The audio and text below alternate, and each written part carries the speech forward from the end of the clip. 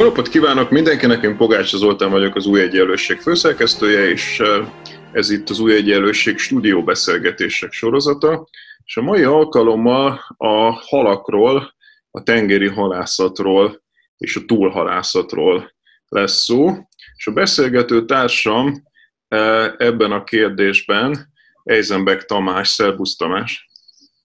Sziasztok! Köszi szépen, hogy elvállaltad a beszélgetést. Uh, majd mindjárt megkérlek, hogy mutasd be magad.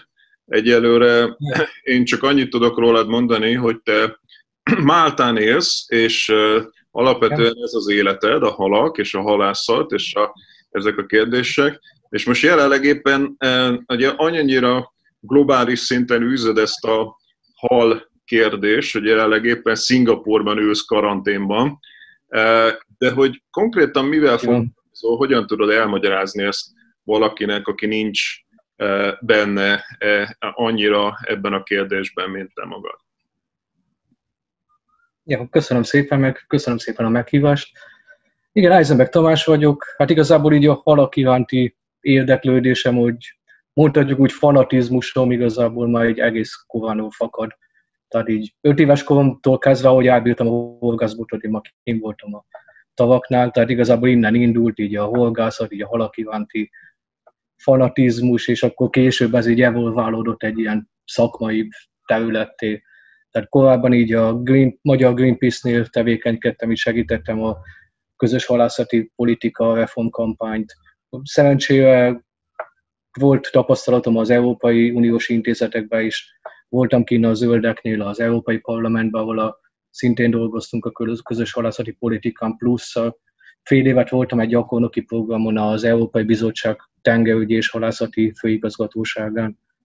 És igen, jelenleg Máltán tevékenykedem egy nemzetközi cégnél, ahol legfőképp ilyen recirkulációs haltenyésztőrendszereket építünk, plusz ezen felül részt veszünk különböző halászati programokba is, halászati adatgyűjtés, halászati menedzsmentek segítő konzultációs tevékenységben. Igen, jelenleg Szingapurban vagyok, ahol itt is egy, egy kísérleti holt, holtenyésztő rendszert fogunk építeni. Belevágunk, amint sikerül kikerülnem a karanténból. Uh-huh. Úgyhogy... Oké, okay, köszönöm szépen.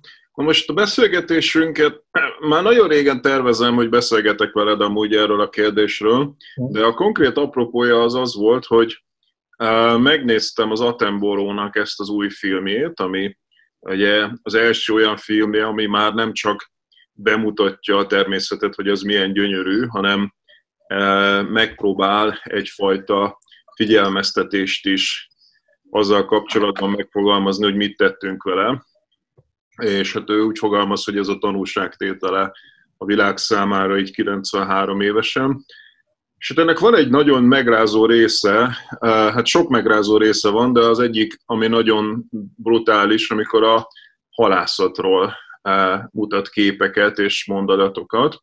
És hát eh, ugye azt mindenki tudja, hogy alapvetően túlhalászat van, de hát ilyen hihetetlen számokat mond a az Atemboró, és talán Magyarországon ez annyira nem látszik, nem lévén kiterjedt tengeri halászatunk, talán nem annyira látszik, de azok az országok, és hát a világ túlnyomó többségének azért van tengerpartja, ők számukra sokkal világosabb lehet, vagy nem tudom, ez az első kérdésem, hogy szerinted tudják igazából a, az emberek azokban az országokban, ahol van tenger, hogy, hogy mekkora nagy baj van?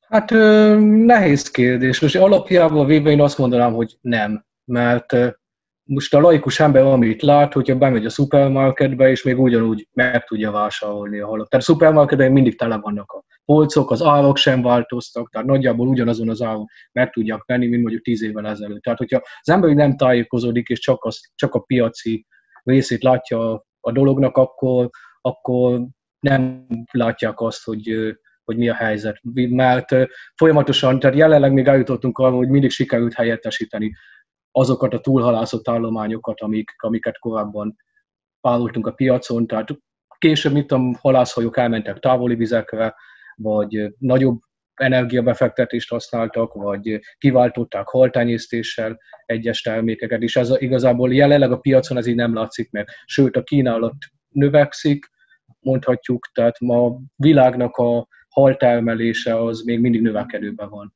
Tehát ilyen szempontból nem. De a Viszont... is növekszik, nem? Tehát ugye azt gondolná az ember, Igen. hogy a, a globális középosztály nő, hogy egyre több ember engedheti meg magának, hogy halat tegyen. Ez így van, és meg sok elő halljuk, halljuk azt, hogy tehát hogy a halmányi egészséges, továbbá egyre inkább előtérbe kerül a húsfogyasztásnak a környezeti hatása és az ökológiai lábnyoma is.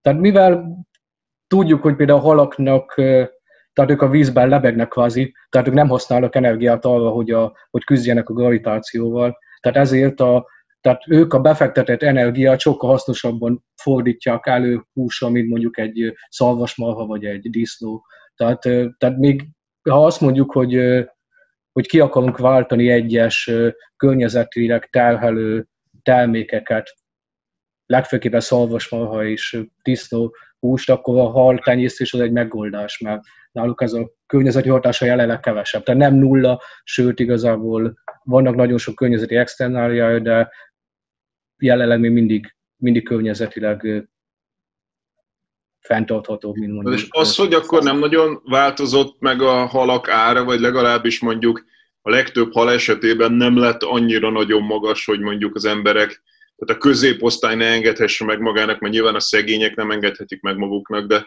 a középosztály, ahogy fogalmaztál, nem találta úgy, hogy az elmúlt évtizedben mondjuk brutálisan megemel. Valamennyire igen, de hogy brutálisan nem emelkedett meg a halára.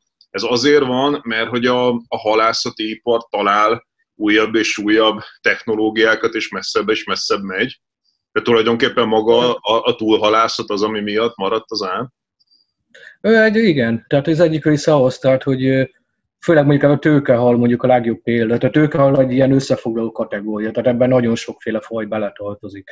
És tehát ahogy így elkezdtünk mondjuk Európában, hogy elkezdték a halászatot mondjuk így a, a parti, partmenti vizeknél, most jelenleg egyre inkább megyünk éjszakra-éjszakra. Tehát most jelenleg a legtöbb, tehát a Európában a tőkehal piacának a jelentős része az a Barents tengerből származik, ami Norvégia fölött, tehát majdnem a, a északi sarknál levő terület. Tehát magyarán most már, de lassan már kiérünk a, elérjük a csúcsot, tehát már nincs hova menni. Tehát, hogy elindulunk egy egyre közel.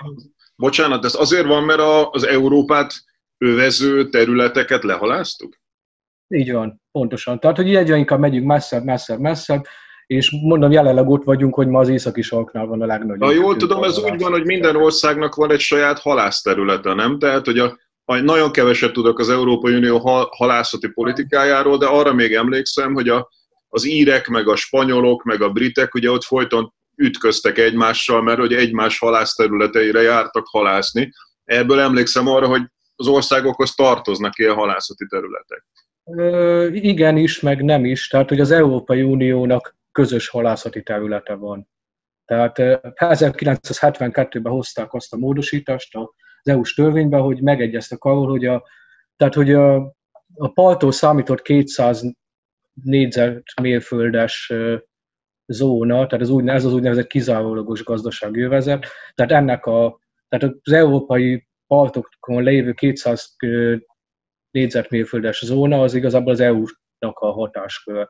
Tehát, hogy nincsen akkor elméletileg egy, elméletileg egy spanyol halászhajó is halászhat mondjuk az írpartokhoz közel? Persze. Sőt, igazából az a probléma, hogy halásznak is.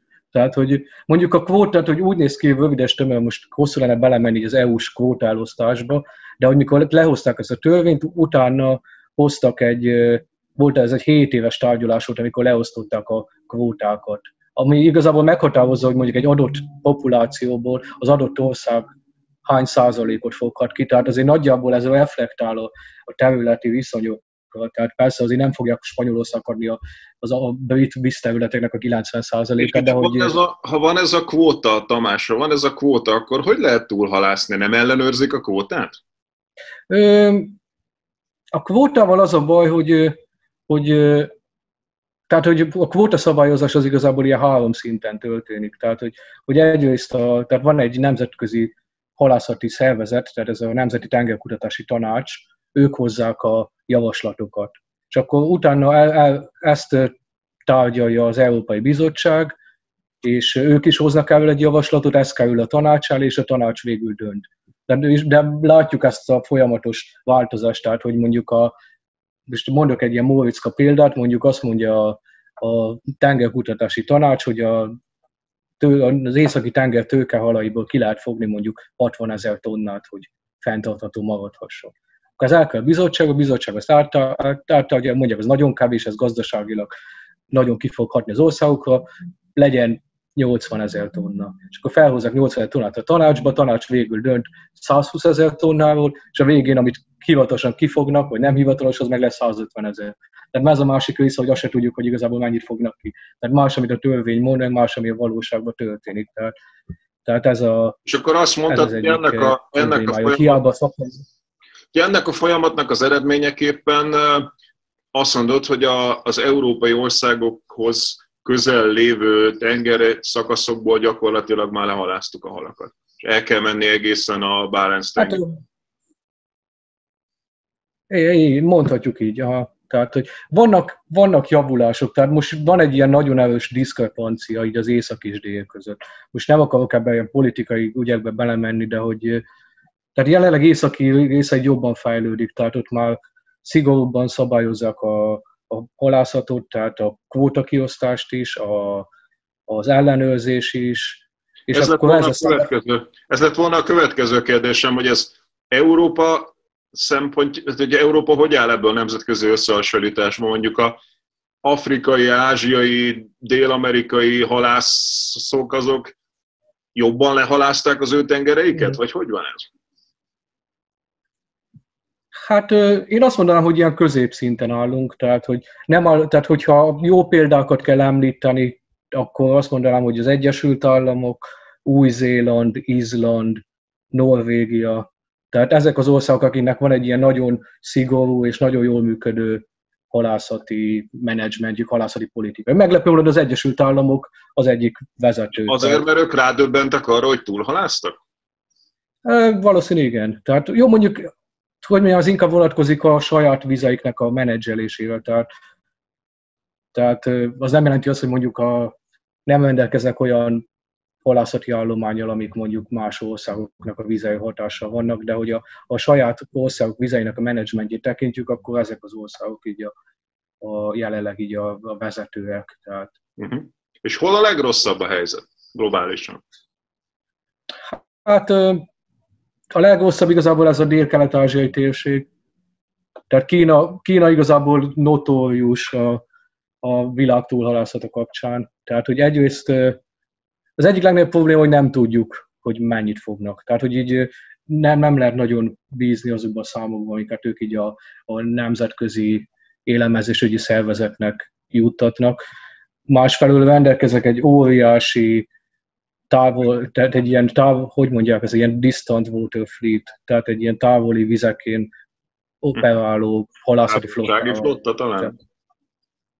Hát igen, és hogy, tehát ez ilyen több tízezer hajóból álló állomány, akik igazából világon mindenfele járják és túlhalásszák a És arra milyen szabály vonatkozik, ami nem a te közvetlen nemzeti vizet, hanem azon kívül a igen. nyitott ez a, ezek a, arra mi a szabály? Igen, ez, ez a, az a, tehát igen, tehát két része lehet osztani a vízterületeket, így halászati, meg akár meg nemzeti tehát tengerügyi politikába, tehát vannak a partmenti vizek, amik a 200 ö, négyzetmérföldes zóna, meg van a, meg van a, a az úgynevezett high seas, tehát ezek a uh-huh.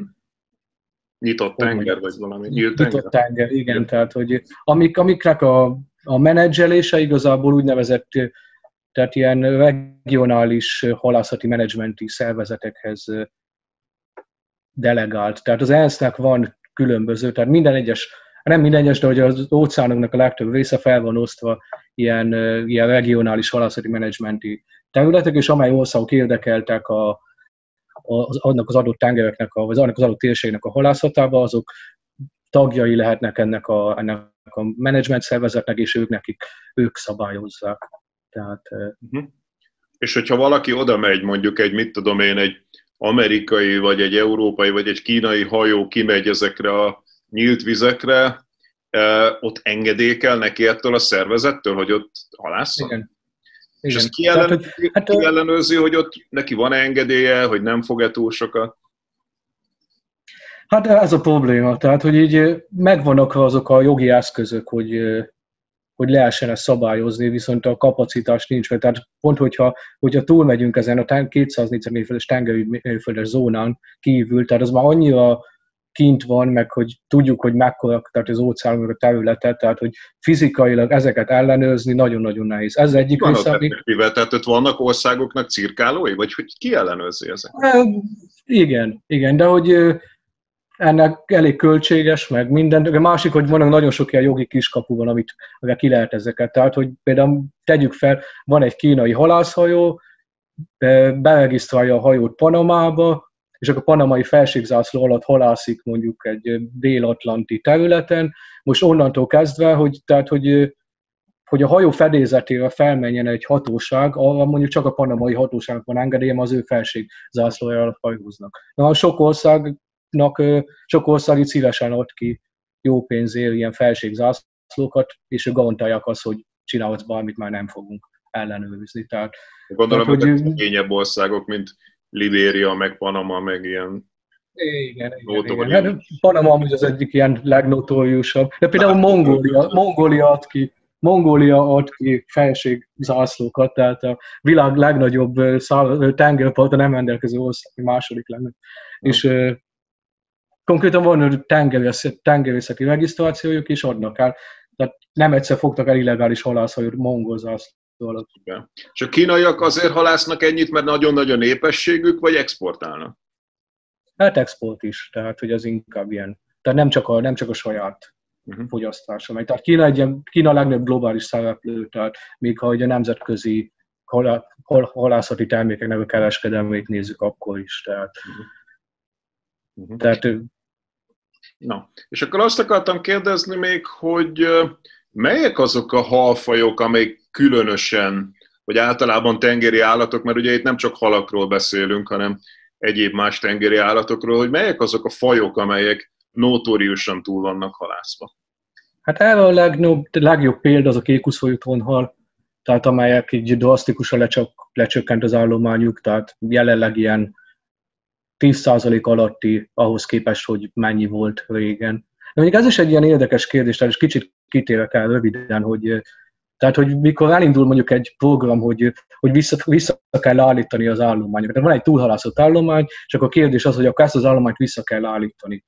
Csak mindig ez a kérdés, hogy oké, okay, de hogy mi az, a, mi az az érték, vagy mi az a mennyiség, amivel vissza kell állítani. Tehát, hogy a probléma az, hogy tehát van egy ilyen elmélet, ezt úgy hívják, hogy ez a shifting basement theory, vagy, vagy shifting basement syndrome, ami igazából azt fejezi ki, hogy, hogy időről időre, tehát az az érték, ami, az az állomány, ami azt hiszük, hogy ez a normális, az, az egyre inkább kisebb lesz.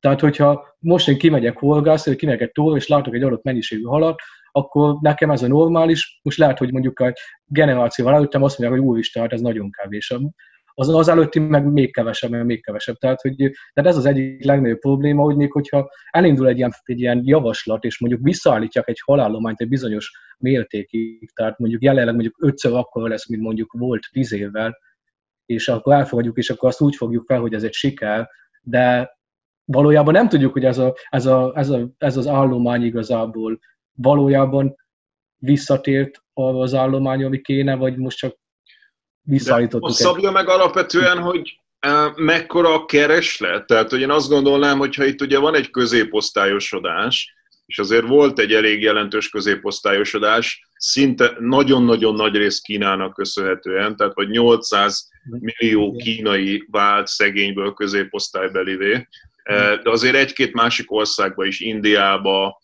átmenetileg Oroszországba, Brazíliába, tehát hogyha így nő a, a középosztály, akkor azt gondolná az ember, hogy a globális kereslet is nő, és hát valahogy a globális keresletnek csak van hatása arra, hogy egyes fajokból mennyire lenne szükség.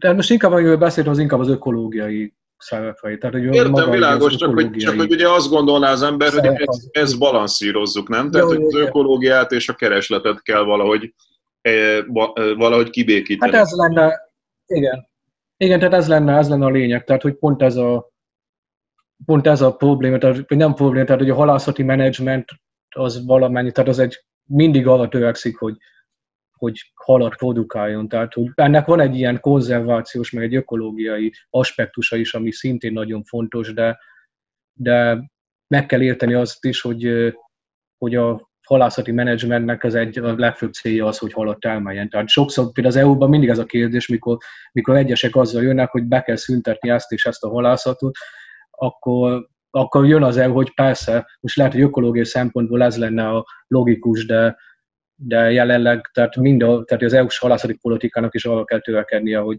hogy halat termeljen. Uh-huh. Főleg úgy, hogy az EU igazából 80%-ba importálja a tengeri termékeket a piacra. Tehát... Uh-huh. Az Európai Unióban fogyasztott tengeri termékek 80%-a Európán kívülről jön? Így van. Így van. tipikusan Ázsiából, vagy honnan? Tipikusan, igen, igen. Tehát ugye Ázsia a legnagyobb szereplő így minden téren. Tehát halászatban is, meg haltenyésztésben meg főleg. Tehát jelenleg van egy ilyen, tehát ami elindult egy ilyen folyamat, hogy hogy jelenleg 2014-ben értük, ezt, értük azt el, hogy több halat tenyésztünk, mint amennyit a tengerekből fogunk. Tehát átfordult ez a mérleg, de most ennek a tenyésztett halat... halat hol, tengeri halat hol tenyésztenek?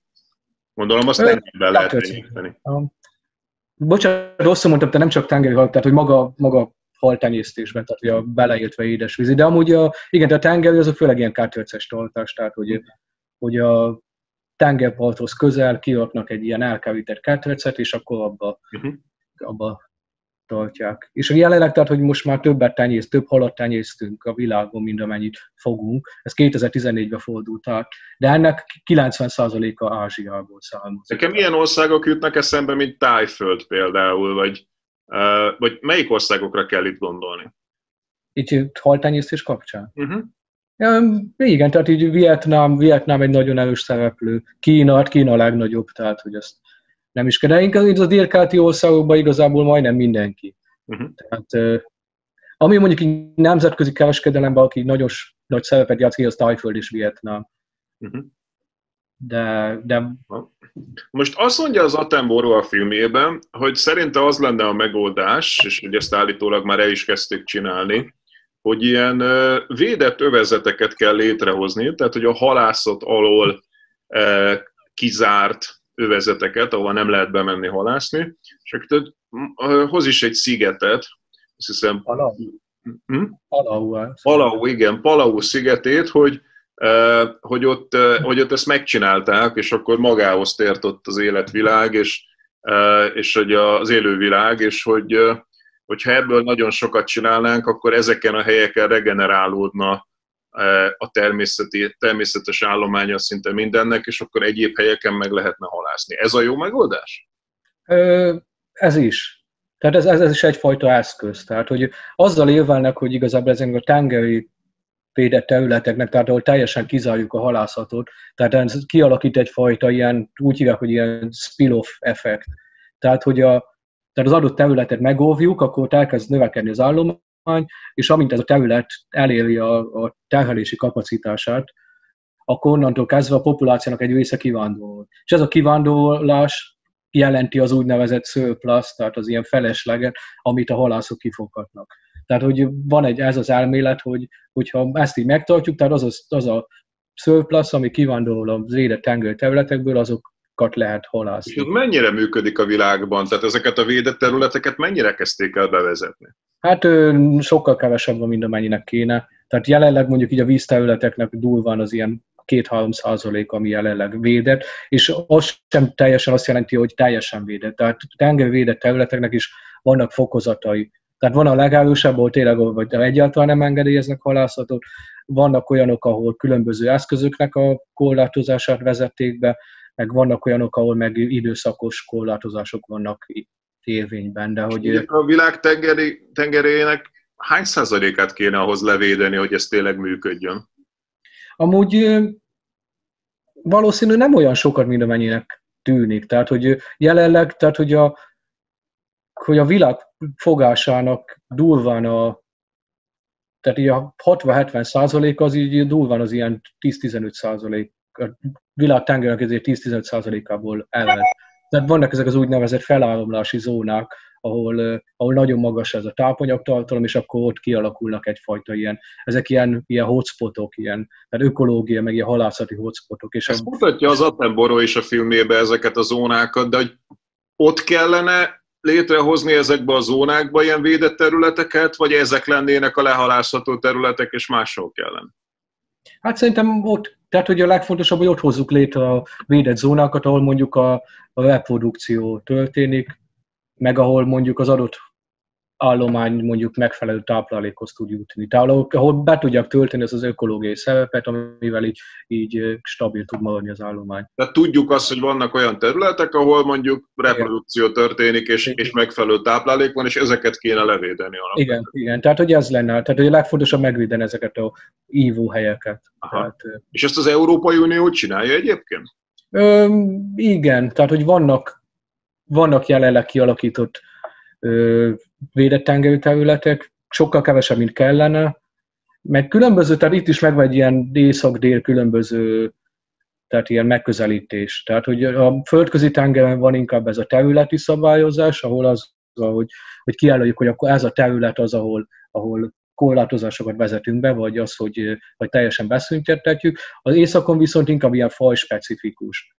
Tehát ahol kijelölnek bizonyos zónákat, hogy ebbe a zónába ezt az adott fajot, fajt nem lehet kifogni. A másik zónába pedig a másik fajt. Tehát ez sokkal nehezebben betartatható, nem? Tehát, hogyha kijelölsz egy zónát, akkor oda eleve nem mehet senki, az könnyebb betartatni, mint egy zónában ellenőrizni, hogy neki most mi van a rakterében, meg mi nem. Há, igen, tehát valószínűleg ez a különbség az észak-dél között, tehát északon kicsit nagyobb a hajlandóság így a szabályok betartására, hogyha mondhatok ilyet és tehát ott valószínűleg jobban, meg más a, a fajoknak az elosztása is, tehát az északi területeknek mondjuk magasabb a, a biomassa állománya, de hogy kevesebb, a, alacsonyabb a biodiverzitás. A földközi tenger az ellenkező, földközi tengernek viszont nagyon alacsony a biomassa halállománya, de hogy sokkal magasabb a diverzitás. Tehát nem nagyon tudjuk az, hogy konkrétan specifikus, tehát egyfajta specifikusan kialakítani egy fajta menedzsmentet. Most hadd kérdez... Ez egy eszköz. Tehát...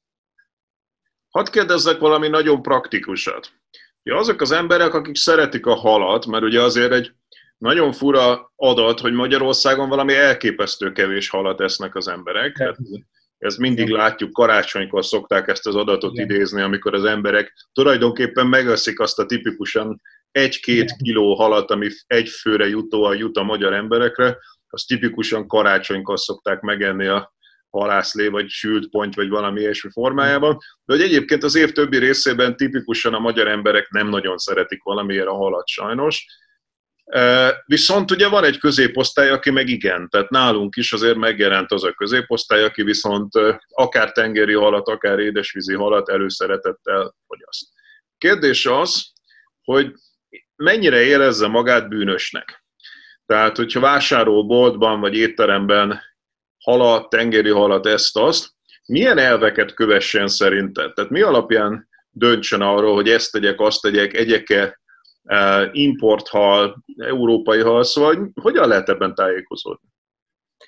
Hát nem egyszerű kezdjük ott. Tehát, hogy így nem lehet mondjuk így nehéz egy fajról mondani, tehát, hogy sokkal, sok ilyen cikket olvasni, én is belefutok a neten, mikor azt mondják, hogy úristen, ne együnk többet tonhalat, mert hogy ezért és ezért, és akkor hoznak példákat, hogy mit tudom, mekkora, mekkora ilyen mellékfogással jár, meg milyen ökológiai problémákkal. Az, hogy annyira specifikus, tehát az, hogy mondjuk a világ egyik részén mondjuk van egyfajta halászat, hogy teljesen fenntartatóan fognak tonhalat, mondjuk a világ másik részén meg abszolút nem. Tehát így fajra nehéz ezt így ezt így kisalkítani. Tehát így ökológiai szempontból mindig azt szoktuk mondani, tehát, hogy egyrészt a minél kisebb, annál fenntarthatóbb.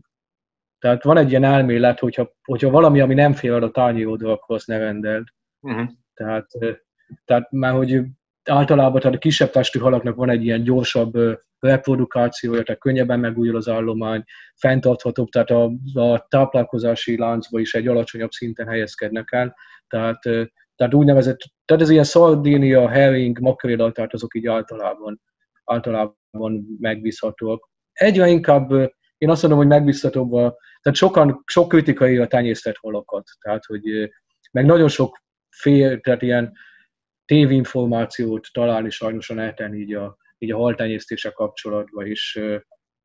Viszont jelenleg úgy, úgy tűnik, hogy tehát ez is egyfajta megoldás, nem teljesen, nem azt mondod, hogy nem egy gyógyír arra, hogy... Az jön le nekem abból, amit mondasz, hogy ez megint olyan, mint egy csomó minden a környezetvédelemmel, vagy a, a zöld gondolkodással kapcsolatban, hogy nem nagyon lehet az egyénre bízni. Tehát, hogy ez nem individualizálható, hanem itt rendszerekben kell gondolkodni. Igen. És hogyha a rendszerek nem jól működnek, akkor alapvetően persze van valami felelőssége az egyénnek a végén, de hogy nagyon nehezen tud tájékozódni, meg dönteni. Tehát nem neki kéne alapvetően, hanem már oda se szabadna kerülni a tányérjára. Annak Ezzel teljesen, teljesen egyetértek, és, és sokan, tehát legtöbb ilyen halász, legtöbb most ez nem lehet mondani, de sok híres halászati menedzsmenttel foglalkozók is egyetértenek azzal, hogy igen, tehát hogy azt így nem hagyhatjuk ezt a döntést a, egyrészt, tehát most van egy, volt egy ilyen, van egy nemzetközi szervezet, az Oceana,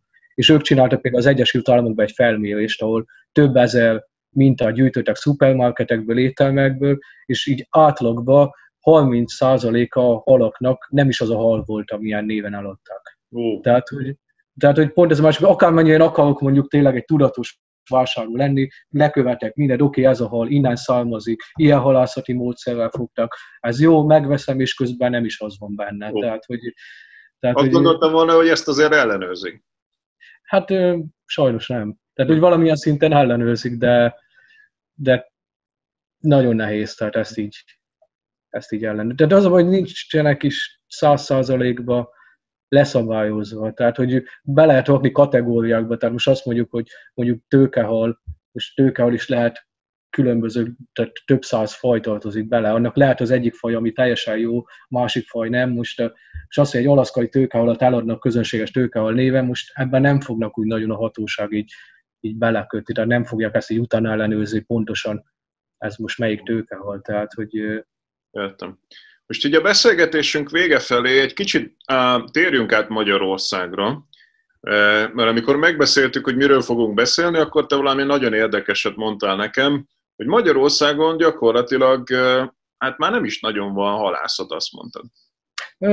Ha nem is nagyon, konkrétan nincs. Tehát, hogy 2013, úgy, úgy tudom, 2013-ban született a végleges döntés, mikor beszüntették a kereskedelmi halászatot Magyarországon. Tehát ennek gazdasági oka nem volt, tehát hogy legfőbb oka az volt, hogy Magyarországon nagyon népszerű a holgászat. Jelenleg durván 300 ezer egyesületi tag van, tehát 300 ezer, 300 ezer olyan ember van, aki, aki rendelkezik engedéllyel, ami így mondjuk magyar lakosságnak így a 3 a Tehát, és ezzel szemben kereskedelmi halász volt durván 50. Uh-huh. És, és voltak ilyen anekdoták, tehát hogy a Balatonon, hogy azért nem fognak a polgászok elég halat, mert hogy a, kimennek a halászok a hálóval, és, és kihalászak mindent, és hogy nekik már nem jut. És aminek igazából nincsen, nincsen valóság alapja. És viszont ez egy ilyen jó politikai érdek volt, hogy, hogy akkor ezzel próbálunk kedvezni a, ennek a 300 ezer embernek, hogy, hogy hozunk egy olyan döntést, amivel úgymond őket segítsük. Tehát, Maga az állítás igaz? Tehát, hogy tényleg kevesebb halat fognak a balatoni holgászok?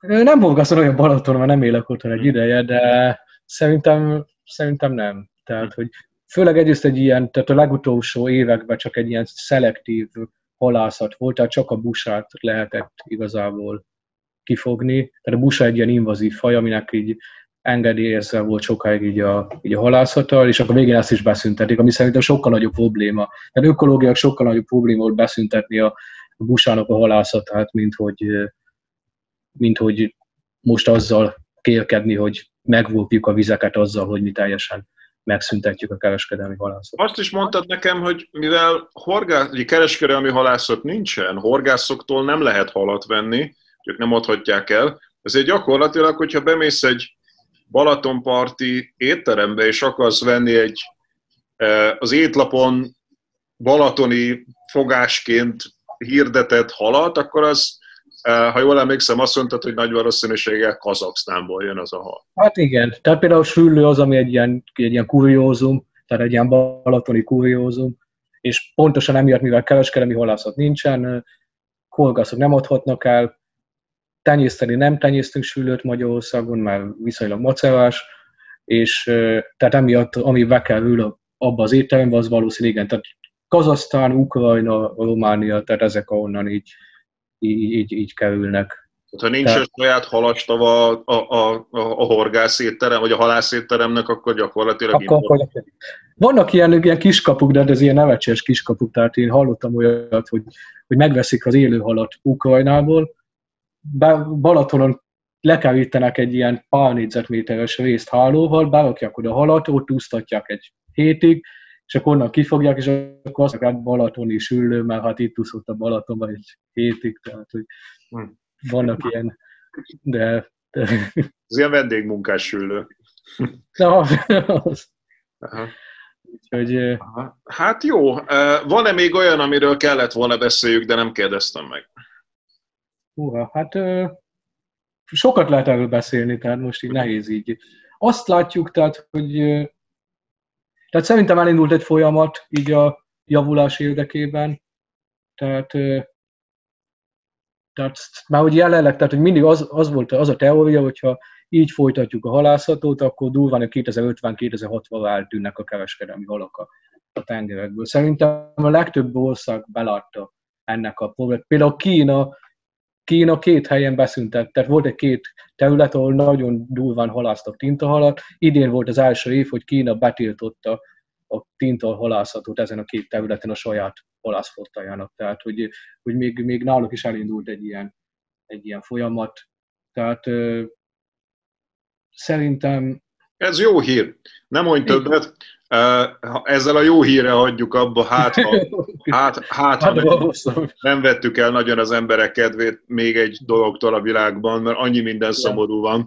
Legalább, legalább itt valamennyire egy picit talán észhez térnek az emberek. Hát, látjuk, a, igen. Én is ezen dolgozok, hogy jobb legyen. Szóval. Akkor én azt tudom ígérni, hogyha kiraktuk ezt a videót, és majd záporoznak a megjegyzések, és vitába szállnak veled, vagy kommentálnak, akkor majd ezeket visszakanalizáljuk feléd, és akkor adott esetben egy második videón megbeszéljük azokat, amiket a kommentelők mondanak. Én egyelőre nagyon szépen köszönöm Eisenberg Tamásnak, hogy, eh, hogy, be, hogy, hogy, hogy, hogy hajlandó voltál velem erről a elég bonyolult témáról beszélni. Köszi szépen! És köszönöm szépen a meghívást. Köszönöm. Remélem, hogy kikerülsz előbb-utóbb a karanténból. Szia! Hát, sziasztok! Köszi, szia!